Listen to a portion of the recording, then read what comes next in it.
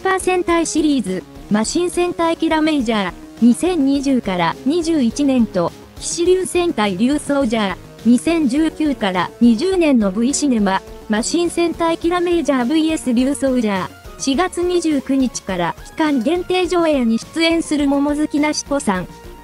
キラメイジャーに登場する敵幹部、ヨドンナで話題になった桃月さんは、今作でも同役を続投し、キラメイジャーたちを追い詰める。本作では、冷酷なヨドンナ様が見られると思います。クレ、オン君をぐちゃぐちゃに踏みつけたり、トイラオで語る桃月さんに、ヨドンナ役への思いや今作の見どころを聞いた。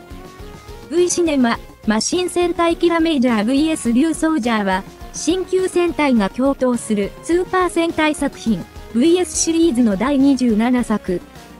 キラメイジャーの敵であるヨドン軍のヨドンナがプロデューサーを務めるヨドン映画の世界に取り込まれたキラメイジャーとリュウソウジャーたちが共同戦線を張るというストーリー。2月に最終回を迎えたキラメイジャー。ヨドンナは終盤自身が仕えてきたヨドン皇帝に裏切られ消滅してしまった。忠誠を誓ってきた相手に裏切られたことに涙しながらも、そのために死ねることに笑みを見せる、ラストシーンは大きな反響を呼んだ。撮影に入る前、大号泣したんですよと明かす。こんな最後になるとは思ってもいませんでした。これだけ献身的に尽くしてきたのに殺されてしまうなんて。翌日も目が腫れてしまうくらい泣きましたね。笑いと振り返った。物語の時系列は最終回前となる今作だが、続投について、まさか出演できるとは思ってもいませんでしたと驚いた様子。でも、まだよどんなをやっていいんだ。ってめちゃくちゃ喜びました。と声を弾ませた。よどんなといえば、キラメイジャーの放送時、毎週のように、よどんな様や、よどんな様しか勝つンがトレンド入りし、ファンアートでも盛り上がりを見せるなど、スーパー戦隊史に残るような屈指の人気役役キャラとなった。放送終了後も T シャツやキーホルダーなどグッズ展開も盛況だ。桃月さんにヨドンナの魅力を聞くと、冷酷だけど、可愛らしい部分もあるギャップがいいんじゃないかなと返答。笑うっていう感情を知ってからは、人に笑うタイミングを尋ねるようになったり、アイスの美味しさに気づいてからはアイスをずっと手に持っていたり、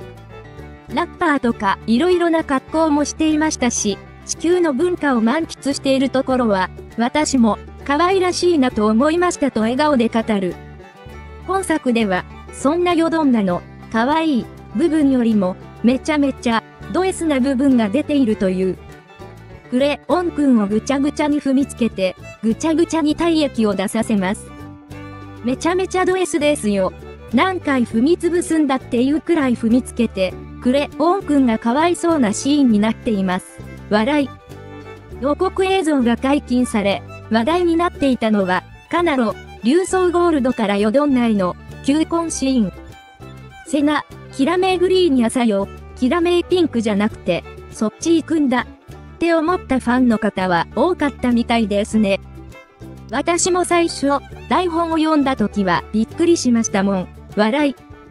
でも、普通であればときめくようなシーンでも、よどんなの、わ？